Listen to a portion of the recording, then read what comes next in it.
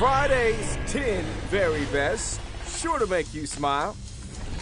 I can almost guarantee it.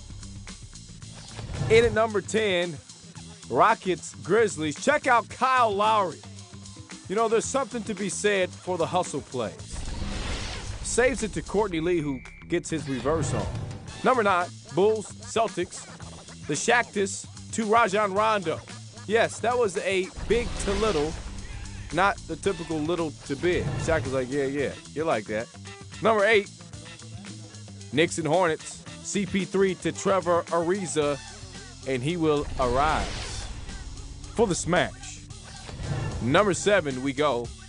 Suns and Pacers. Steve Nash, just call him Houdini. Did you see that? Right around the back there. To Hedo Turkoglu, who puts it up and in. Number six, Lakers Kings. Kobe Bryant, thievery on the break and the baby dunk. Give him more props for the steal there, the dunks.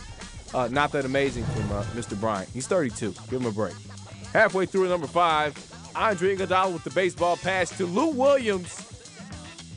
And there's something about this dunk that just looked pretty. Just seemed to glide to the hoop when he threw that one down. Number four, Thunder and Raptors. Jose Calderon with the steal. Sonny Weems, higher than a new suit. You liked it. Take a second look. Number three, same game, different thing. That would be Amir Johnson cramming on Sefolosha. He can taste the leather. Number two, Blazers and Wizards.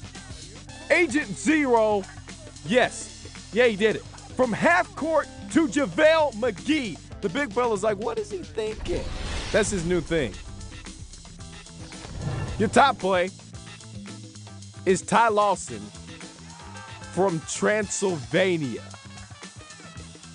to beat the buzzer at the end of three. You have got to love it. You don't like that, you don't like basketball. Your top 10.